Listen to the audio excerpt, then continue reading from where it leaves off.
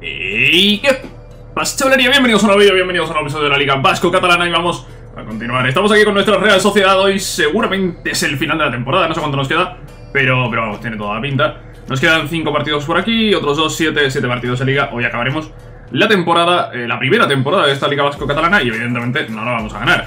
Acabaremos en segunda posición pff, al 200%, porque es que no nos va a alcanzar el tercero y que el Barça se deje 8 o 9 puntos y que al final, pues me parece algo eh, harto imposible. Así que no, no, no, no, esto va a acabar así.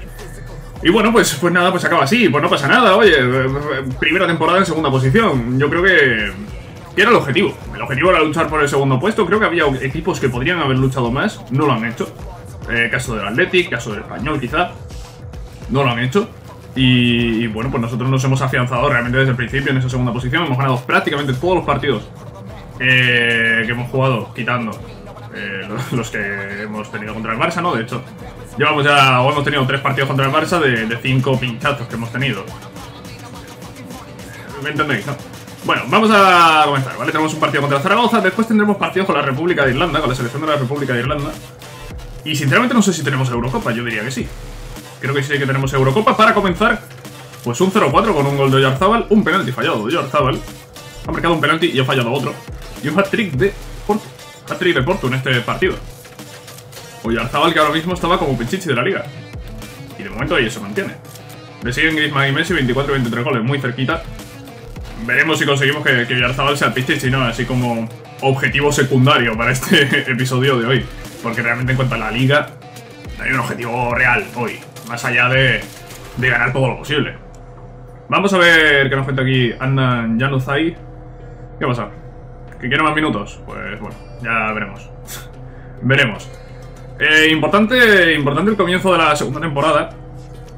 Porque recuperaremos bastantes jugadores cedidos. Alguno interesante. Rulli, por ejemplo. Jerónimo Rulli.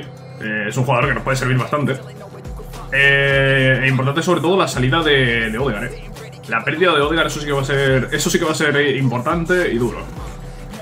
Pensaba que tenía hecha la selección de, de, Irlanda. Vale, vamos a hacer una pausa aquí, voy a hacer la selección y vuelvo. Que lo tenía hecho, pero, pero ya veo que no. Hola, buenas. Ya tenemos preparada la selección de la República de Irlanda, ¿vale? En un 4-3-3, este es el 11 titular. Y bueno, pues, eh, pues no sé qué vamos a hacer, la verdad. Nos enfrentamos a la India, a la India de Dakar, ¿no? Ese jugador que tenemos en el modo carrera de James. No sé si vamos a ganar, pero yo creo que deberíamos, ¿no? La India es que no tiene jugadores. Es que no hay jugadores indios. 1-5, claro, esto es lo normal, esto es lo que tenía que ocurrir. Un gol de Egan, eh, otro de Uri Hain, Uri Hain, no sé cómo se pronunciará, no sé cómo se pronunciará. Uno de Robinson y un doblete de Brady. Bueno, pues vale. Gundersen vendido. Vale. Gracias. Gracias por ese dinero por, por Gundersen. Sobre todo por liberar una ficha en la plantilla. Thor Moe. Mou. Eh, Thor Mou. Eh, hola, ¿quién eres? ¿Quién eres? ¿Eres bueno? ¿Te debo subir? Uh, no. No, no te voy a subir. ¿Te quieres ir? Te vas. Yo no te voy a subir. Vale, tenemos otro partido ahora contra Hungría. Vamos con los suplentes. Sí, venga, vamos con los suplentes. Porque los titulares están bastante cansados. Es probable que perdamos. Ya sabéis lo de los suplentes este año. No hace falta que os diga nada. Y ganamos. Ganamos igualmente a pesar de ir con los suplentes. Makidi y Birne... Bayern... Bayern... No sé cómo se pronuncia eso. No me preguntáis de verdad. No sé. No tengo ni idea. Barry. Barry Callahan. Sí, algo así, ¿no? Barry Callahan he leído algo así. Eh, hola, Barry, ¿dónde, dónde andas? Eh, es este, segundo delantero de 47 de media. No, no te voy a subir. Es que no solo no te voy a subir. Espérate, espérate, vamos a hacer una cosa, espérate. Espérate, ahora mismo tenemos espacio en plantilla. Vamos a hacer una cosa, voy a subir a estos jugadores y los pongo transferibles. Vamos a hacer una cosa. Vamos a hacer una cosa lógica, porque a estos jugadores se les puede sacar un beneficio económico. Eh, tampoco vamos a ser tontos. Eh, Callahan, transferible. Y Moe, transferible. Ya está. Este puede llegar a ser bueno, puede llegar a tener 82, lo hemos visto ahí, pero ahora mismo tiene 53 de media. Es que me fío poco, eh. Me fío poco, me fío poco. A ver, si lo buscamos aquí, ¿cómo está? Aparece como jugador prometedor. Quizá le podemos dar una oportunidad, ¿no? Quizá, quizá podríamos darle una oportunidad. Quizá, quizá, quizá, quizá. Aquí hay que entrenar a algún jugador. Y ese jugador, ese jugador, ese jugador, ese jugador... Me han quitado a McKenna. Eh, ahí Muñoz sigue entrenando por aquí, Altuve. Podríamos entrenar a... Voy a entrenar a Alexander Isaac, que está, está cerca de 80. Voy a entrenar a Isaac, que está cerca de 80, básicamente. Lo, lo, lo voy a entrenar por eso, no por otra razón, no por otro motivo. Y a este, a, a Thormo, lo voy a poner cedible. Pues para ver, para ver si, realmente puede servirnos de algo en un futuro. O no, tiene pinta de que no, pero bueno, vamos a darle una oportunidad al chaval. Ahora mismo tenemos 39 jugadores solo en plantilla, tenemos bastante espacio todavía. Así que de momento no hay problema de espacio, de momento no tenemos problema en dar oportunidades a este jugador para que salga cedido. Si estuviésemos en el Madrid, lo habría vendido. Pero no estamos en el Madrid, no tenemos el equipo lleno. Chris Walls, a ver, hoy, hoy, hoy que es el día, ¿de quejarse todos los jugadores o cómo está el tema? Eh, es el día hoy de, que, se quejen todos, porque no me apetece. No me apetece tener que estar metiéndome uno a uno a mirar los jugadores del filial, para ver si me interesan o no. Chris Walls. Es que no lo sé, es que es otro que tiene 53 de media, es que puede ser bueno, porque tiene potencial, o puede tener potencial, es que no es tiene potencial, es que puede tener potencial. Claro, y aquí entramos en el debate de le doy oportunidad, no le doy oportunidad, lo vendo, lo cedo, ¿qué hago? Pues de momento lo veo cedible. Igual que el otro. Y por favor, no quiero más mensajes de que jugadores se quieren ir, por favor, por favor. Chris Walls, venga, estamos de acuerdo. Estamos de acuerdo, lo mejor es que te vayas cedido. Vale, vamos a seguir avanzando. Llevamos ya 30 partidos de liga, estamos a punto de acabar. Juvenil finaliza su contrato. No sé quién ha sido, pero si ha sido uno de los buenos, es para coger a EA y reventarle. Reventar a EA Sports. Si EA Sports se personificase, es, para reventarlo a hostias. Es para reventarlo a hostias porque me estás diciendo que se quieren ir jugadores de mierda. Y si se ha ido uno bueno, me voy a enfadar. Claro, tampoco sé yo quién era bueno. Tampoco me conozco yo los nombres de los jugadores. No sé si había uno ahí con un potencial de la hostia que se ha ido. Es que no sé quién se ha ido. Es que esto de juvenil finaliza su contrato y ni siquiera te dice quién es. Ea. Ea. Ea. Ea. Es que no hay, no hay, no hay, no hay más que decir aquí. Vale, tenemos partido contra el Girona. El Girona, el Girona, el Girona. El Barça que ha ganado. Sí, evidentemente el Barça ha ganado. Y nosotros nos enfrentamos al Girona. Un Girona, un Girona que, bueno, eh, vamos con Herrera en la portería porque sigue lesionado Remiro. Y juega un Zaldú y Maquena en defensa 3 a 2. 3 a 2 contra el Girona. Madre mía, Girona, qué problemas. Qué problemas nos ha dado el Girona, por favor. Y mirad ahí el final de partido. Granelli en el 84 había empatado a 2. Odegaard en el 88. Ha marcado el de la victoria y además ha lesionado Granel eh, en esa misma jugada, entiendo. Uf, uf, uf, uf, el Girona, el Girona, qué peligroso. Qué peligroso. Otro juvenil que finaliza su contrato.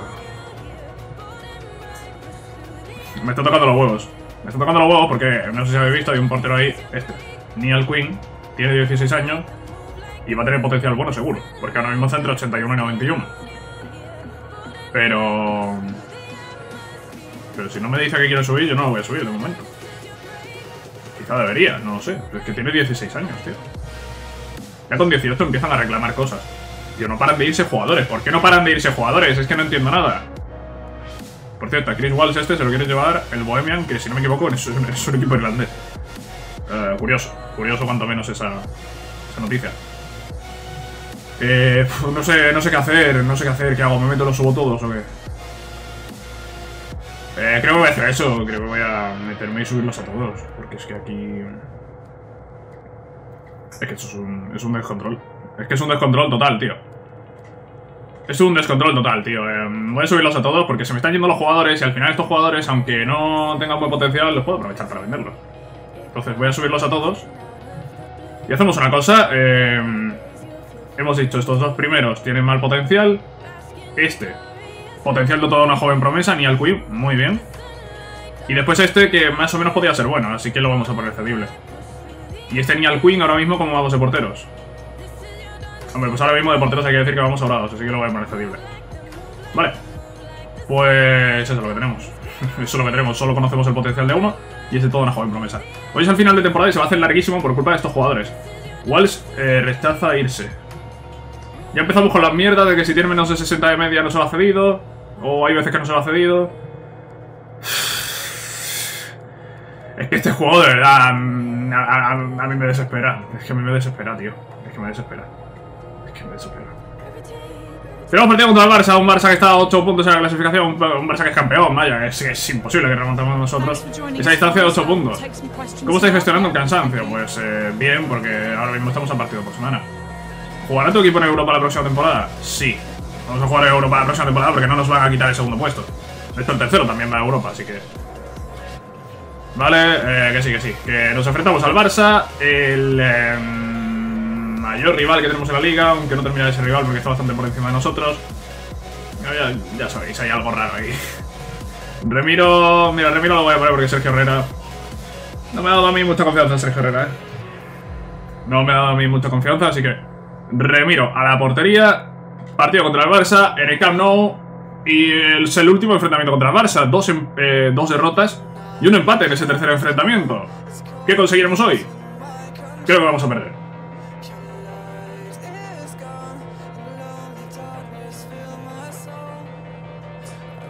Dos penaltis a favor del Barça. Después de fallar uno nosotros. Esperaba perder, pero no que me metiese en cuatro. La verdad.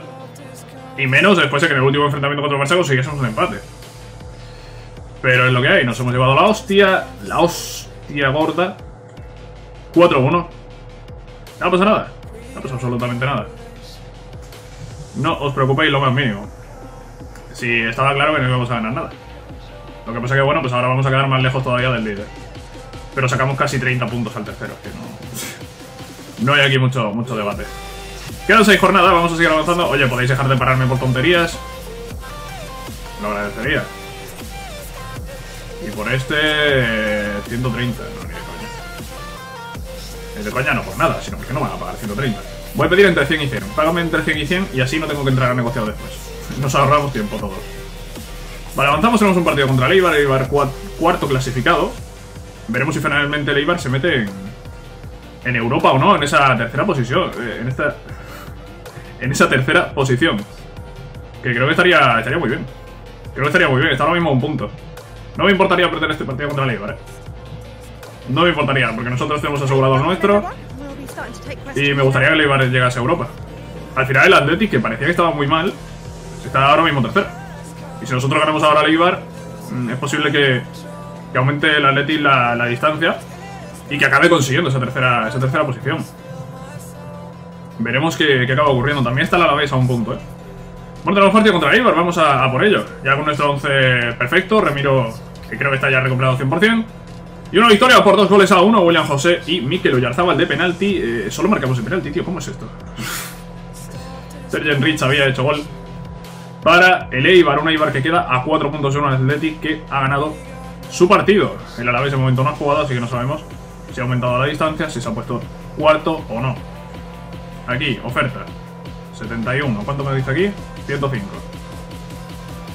Creo que 105 es demasiado.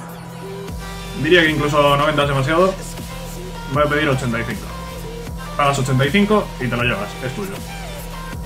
Vale, eh, toca continuar, toca seguir con los entrenamientos. 90 en la valoración de manager. Tenemos una valoración de manager bastante alta. Hemos hecho una buena temporada. ¿Puede que hayamos asegurado ya la presencia en Europa y por eso ha subido la valoración de manager? Es posible, es posible porque quedan ahora mismo eh, tres partidos. Está, más que asegurado, vaya. está más que asegurada la, la, clasificación para Europa. Otro jugador que se quieren llevar. Esto es bueno, veis. Por eso, por eso decía que, estos jugadores realmente había que subirlos. Estos jugadores había que subirlos. Y, y, por eso me he calentado y los he subido a todos. Porque no parábamos de perder jugadores. Y, y es que no entiendo por qué. Es que no me dicen un mensaje de que el jugador se quiere ir y de repente se va. Y ni siquiera te dice qué jugador es. Es que es una mierda. Es que es una mierda. Vale, otro que se va a ir. Bueno, se ha ido ya. Gundersen se va traspasado. Este tenemos aceptado para que se vaya. Este tenemos aceptado. Y este estamos negociándolo. Vale, se van a ir 3, 4, quizá 5 jugadores si llegan más ofertas ahora. Así que bien, bien, porque además son jugadores que, que no nos sirven, que los hemos subido al primer equipo para venderlos. Y si los vendemos, pues, pues estamos haciendo el negocio perfecto, ¿no? Estamos sacando un beneficio económico y... Y no estamos desaprovechando esos jugadores que teníamos en la cantera y que se iban a ir gratis. Este vendido, bien. Y un mensaje. Zubaldia quiere jugar. Eh, Zubaldia, pues me lo pensaré. Me lo pensaré. Ya los suplentes veis que están teniendo poca participación. Es normal. ¿Qué participación va a tener un, un equipo que no... Que no gana. que no gana. La última vez que vimos este choque el partido terminó en empate a 2. ¿Cómo os enfrentaréis al encuentro esta vez? Pues esta vez vamos con intención de ganar. Para intentar ayudar a Leibar. Para intentar echar una mano a Leibar. Básicamente. El resultado reñido no sé qué. Bueno, ya el Barça es campeón, ¿no? Si quedan tres partidos. Si quedan tres partidos, el Barça es campeón. Sí, claro. El Barça es campeón ya, ¿eh? El Barça es campeón y nosotros somos segundos. Ahora mismo quedan tres partidos. En los que lo único que podemos hacer es eh, alterar las posiciones del resto de la clasificación, porque la nuestra no se va a alterar en ningún momento. ¿no? Es que somos segundos ya. Somos segundos. 0-3. Hostia, 0-3 en Samamés, eh. 0-3 en Samamés me gusta. Me gusta bastante. Isaac, Portu y Mikel Oyarzábal. 0-3, 3 puntos. Y sobre todo el Athletic que ha perdido, que le han expulsado a un jugador. Y que ojo porque peligra su tercera posición. Veremos si algún equipo puede alcanzarlo. Zubeldia, creo que podría haberlo hecho mejor. No te desanimes, hombre, no te desanimes. No te desanimes lo más mínimo.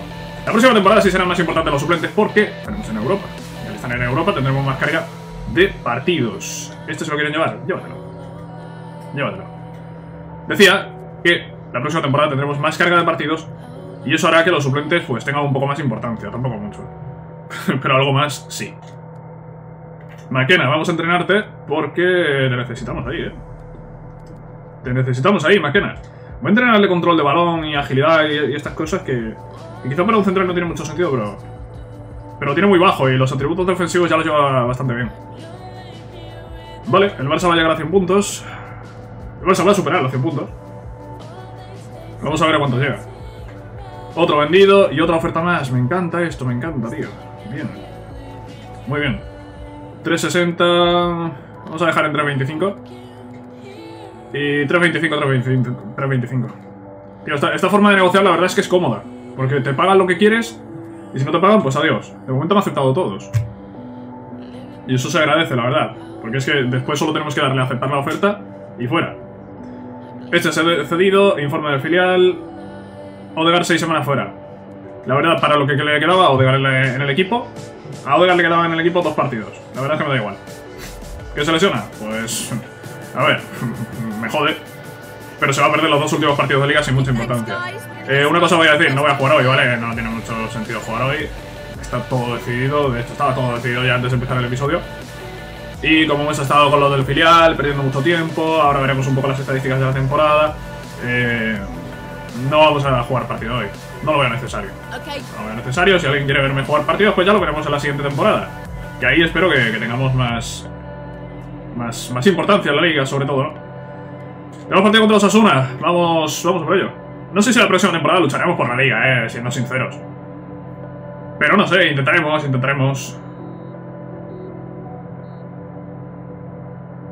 Será una broma. Será una broma. Entra un suplente... Eh, hemos perdido este partido porque ha entrado Sangalli, ¿eh? Tenía clarísimo que hemos perdido este partido porque ha entrado Sangalli. Por no dejar este partido... Pero, es que no lo perdemos, es que ni de coña. Es que ni de coña, que además Osasuna estaba con uno menos toda la segunda parte. Este partido con Odegar no lo perdemos. Este partido con Odegar, os digo yo que no lo perdemos. Eh, no, sé qué deciros, no sé qué deciros. Acabamos de perder en casa contra Osasuna. Eh, pues vale. Es que no sé qué, no, sé qué decir. No sé qué decir. Es que no lo entiendo. no lo entiendo. Yo creo que el juego se está riendo de mí. Pues, pues nada, perdemos contra los Osasuna. Y nos queda una jornada, una jornada en la que podemos llegar a 90 puntos. ¿Es la primera derrota que tenemos que no es contra el Barça? Porque diría que sí. Es que me parece increíble. Que me, parece completamente increíble. Acabamos de perder contra Osasuna en casa. Cuatro derrotas. Tres contra el Barça y una contra Osasuna. Contra Osasuna, que va a quedar por debajo de Girona. Contra Osasuna que ha ganado cinco partidos en toda la temporada. Esto no es casualidad. Esto no es casualidad, hemos perdido el partido porque no estaba Martin Odegaard.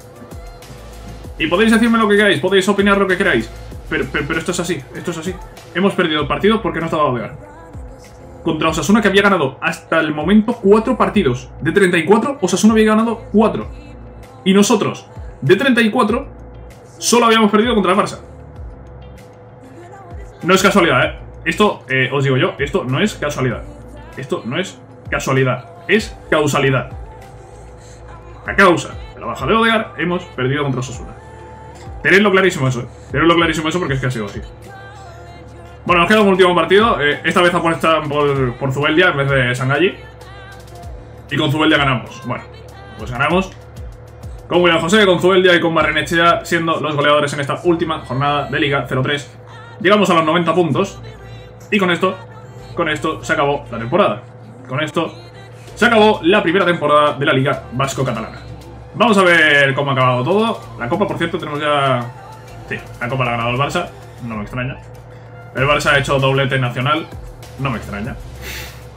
Y vamos a ver un poco. El Huesca lo vemos por aquí, equipo que, que no ha ganado un solo partido. El Huesca no ha ganado un solo partido. Espero que la próxima temporada consiga ganar al menos uno. Eh, Zaragoza lo veis ahí con 17 puntos. Eh, Osasuna solo ha sumado 21. Me, me, extraña que Osasuna ya haya sumado tampoco. Eh, y habiendo sumado tampoco, me extraña que nos haya ganado antes. Me extraña muchísimo que nos haya ganado antes. No es casualidad. Después tenemos a Girona, que ha sumado 46 puntos en Girona. Eh, por encima de Osasuna, por ejemplo. El mejor equipo de segunda. Eh, los tres equipos de segunda son Girona, Zaragoza y Huesca. Girona ha sido el mejor equipo de segunda. Y ha quedado incluso por encima de un equipo de primera, como es Osasuna. Después tenemos por ahí al Español, tenemos al Alavés, tenemos al Eibar y tenemos al Athletic. Y todos esos equipos en tres puntos de diferencia. De hecho, espérate, es que no ha acabado la liga. Que no ha acabado la liga, espérate, espérate, que no ha acabado la liga. He acabado yo, que no ha acabado la liga. Espérate, porque hay, hay cuatro equipos que se están jugando. Que creo que alguno de ellos ya había jugado, ¿vale? Pero, pero hay cuatro equipos que estaban jugando la tercera plaza. Esa plaza, pues, que va a Europa. Que va a Europa League, creo, a la previa de Europa League. Eh, ¿Qué ha pasado? ¿Qué ha pasado aquí? ¿Se ha jugado ya? En principio sí, se me da el premio del torneo. Se ha jugado y es el Alavés el que en la última jornada se cuela en la tercera posición. Yo creo que el Alavés en ningún momento de la temporada ha estado ahí. Tendría, que, revisarlo. Pero yo creo que el Alavés en ningún momento había estado en la tercera posición. Y se cuela en la última jornada, ganándole a Leibar. Si hubiese ganado a Leibar, se habría metido el Eibar. Y, y ahí lo veis. Ahí lo veis, el Athletic que queda fuera de Europa finalmente. El Eibar también acaba en quinta posición. Y el Español acaba en sexta, en cuatro puntos. Ahí lo veis, en cuatro puntos. Los que van de, de los 54 del Español a los 58 del Alavés. Había cuatro equipos luchando por esa tercera plaza. Y después, eh, claramente diferenciados, yo en la segunda posición con la Real Sociedad y el Barça eh, primero con 104 puntos. Solo se ha dejado al Barça 4 puntos, ¿vale? El máximo son 108. El Barça se ha dejado 4 puntos solo en toda la temporada y se los ha dejado contra nosotros. Así que, bueno, es de mérito lo que, lo que hemos hecho. El Barça ha encajado 12 goles. El Barça ha encajado 12 goles. ¿Cuántos de esos 12 goles los hemos marcado nosotros? Porque son varios. Aquí hemos marcado uno. Hemos marcado uno. Eh, ¿Cuántos goles hemos marcado al Barça? Vamos a verlo, vamos a verlo. Hemos marcado uno. Ya no voy a encontrar ahora los partidos contra el Barça, ¿o qué? Igual desde aquí no es la forma más fácil de buscarlo, ¿no? Otro gol al Barça, dos. Tres goles al Barça. Y otro fue, fue al principio, ¿no? Tres goles al Barça, tres goles al Barça, cuatro goles al Barça. Le he metido un tercio de los goles que el Barça ha encajado en toda la liga.